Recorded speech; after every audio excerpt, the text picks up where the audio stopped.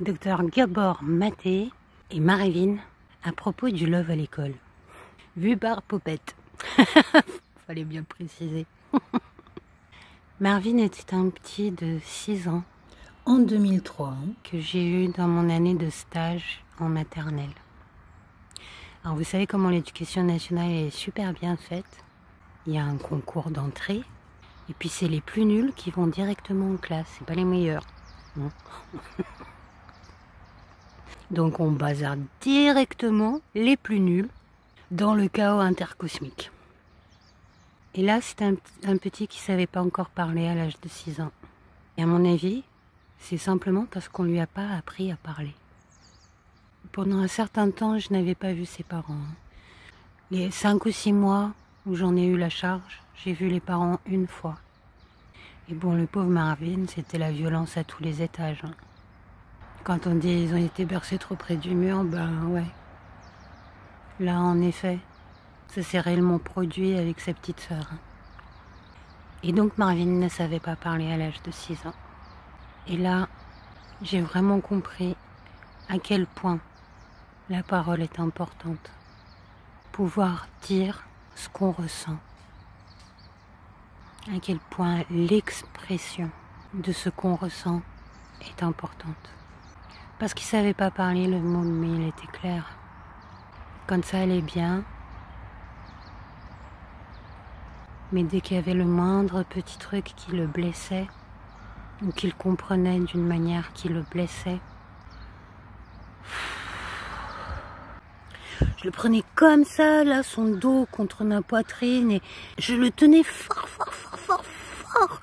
Et il arrivait quand même à me saccager toute la classe, quoi. Chacune des tables, des chaises, toutes renversées. Il était enragé, ce môme. Et il avait de quoi. Il avait franchement de quoi. Et quand ça se produisait, je m'arrangeais pour que les autres enfants de quoi s'occuper et puis euh, que je puisse les voir en fait depuis la porte. hein. Parce que bon, le petit Marvin, euh, c'était pas le seul môme dans la classe. hein. je le mettais juste devant la classe, devant la porte de la classe, dans le petit couloir, parce qu'un petit espace réconfortant est toujours plus agréable qu'un grand espace dont on ne sait pas trop quoi faire et on ne sait pas trop qu'est-ce qui peut arriver par où. Et je l'allongeais sur un tapis et je lui chantais ma petite berceuse, ma première composition. Elle est en yugo et je ne lui ai jamais traduit, mais je peux vous garantir qu'il a compris ce que ça voulait dire. Ça disait quelque chose comme Dors maintenant, mon petit poussin, mon petit agneau. Ta mamie te garde. Elle ne te laissera pas, ni à la sorcière, ni au loup, ni au diable, ni à Dieu. C'était ce que j'avais de plus émotionnellement dur sous la main. Parce que c'était une chanson que j'avais composée euh, à cause de la guerre à Sarajevo. Et c'était une grand-mère qui chantait la berceuse à son petit enfant qui venait tout juste d'être snipé. C'était l'image que j'avais en tête. Donc la mélodie, elle va avec. Elle est franchement... euh, il se calmait. Et une fois calmé, il revenait dans la classe avec les autres et on mettait des mots sur ce qui s'était passé, sur les émotions et sur les événements. Et voilà, arrivé à Noël, sa maîtresse d'adaptation, qui était là la moitié du temps, où lui il était là, sa maîtresse d'adaptation et moi avons réussi à, lui faire partager le moment des cadeaux avec les autres enfants. Et ça a été euh, une réussite fulgurante. Mais il y a eu un conseil quelconque. Et ils ont décidé que ça suffisait, qu'il était temps de le mettre avec des autistes. Alors qu'il l'était absolument pas. Il ne savait tout simplement pas parler. Du coup, bon, le reste de l'année s'est déroulé sans Marvin, si ce n'est dans mon cœur. Quelque part vers la fin de l'année, c'est Noisy-le-Sec, hein, donc c'est euh, une ville du haut 9-3, quoi. hein. Une grande route. Il s'est carrément échappé. Il a couru, couru, couru vers moi. Il m'avait vu de loin. Et moi, je l'ai vu euh, une fois qu'il courait déjà, quoi. Il s'est jeté dans mes bras, mais d'une force. et il m'a appelé par mon prénom. Et là, j'ai su que euh, c'était bon, j'avais fait ce que j'avais à faire. J'avais rempli ma mission, quoi. Mais les profs de l'UFM, ils disaient, tu n'es pas là pour te faire aimer. D'où est-ce que je suis pas là pour me... je suis là pour faire quoi alors?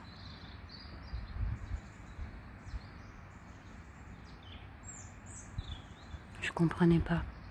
Alors je sais pas si pour eux le love c'est euh, le viol et l'inceste, mais bon pour moi ça l'est absolument pas quoi. Et c'est quelque chose de, de vital aux apprentissages. Je pensais que de nos jours en fait on apprenait ça à l'école des profs. Mais non, toujours pas, toujours pas.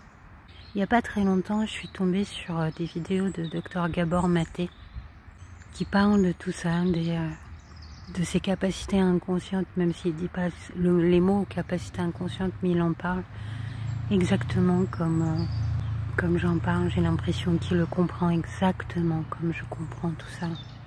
Et c'est franchement, c'est franchement rare de trouver quelqu'un avec lequel tu, euh, quand tu échanges des mots, les mots qu'il dit, en fait, tu as vraiment l'impression que c'est les tiens, quoi.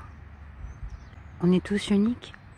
Mais là, malgré son parcours complètement différent, puisque lui, il vient des, euh, des traumas et des addictions, il est psy.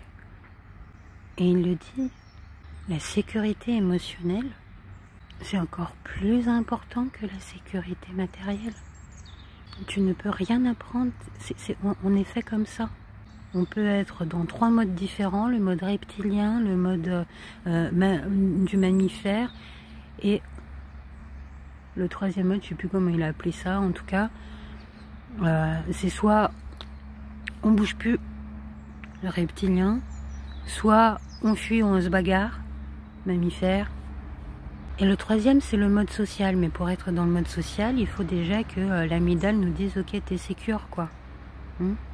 Parce que sinon, on est soit en mode fuite, soit en mode bagarre, soit en mode complètement gelé, quoi. Hein Et les parties du cerveau qu'on utilise dans ces moments-là ne sont pas les mêmes. Et on ne peut pas utiliser à la fois notre cerveau reptilien et notre cerveau social, c'est impossible. C'est physiquement impossible. Donc, quelqu'un qui vous maltraite, qui est autoritaire comme ça, juste pour être autoritariste, quoi. Hein Parce que genre, c'est l'autorité qui apprend la discipline. Hein Alors là, franchement, encore un de ces trucs qui me dépasse complètement. Qu'est-ce que vous voulez qu'ils vous apprennent? Mais rien du tout. Vous, si vous vous souvenez de quelque chose de l'école, et à mon avis, c'est pas grand chose dont vous vous souvenez, hein, mais c'est nécessairement suite à quelqu'un que vous avez apprécié, que vous avez aimé, qui, a été sympa avec vous, qui vous a passionné, qui a, qui a éveillé quelque chose en vous. Mais pour ça, il faut bien du love quand même. On ne peut pas être en bagarre et apprendre, ça c'est pas possible. Donc je sais pas trop quand l'éducation nationale va. En Yougoslavie, on a une expression. Il se au grave. quand est-ce que ça va lui remonter du cul à la tête? Mais franchement, il est grand temps. Il est grand temps d'arrêter toutes ces histoires de. C'est pas parce qu'un pédophile existe qu'on n'a pas le droit au love dans les écoles. C'est du n'importe quoi du n'importe quoi. Ça n'a rien à voir la pédophilie. La pédophilie et le love, mais ça n'a strictement rien à voir, quoi. Quand même. D'où? Enfin bon, bref. Je m'échauffe. Ah, bah quelques jours de pause et euh, on s'enflamme.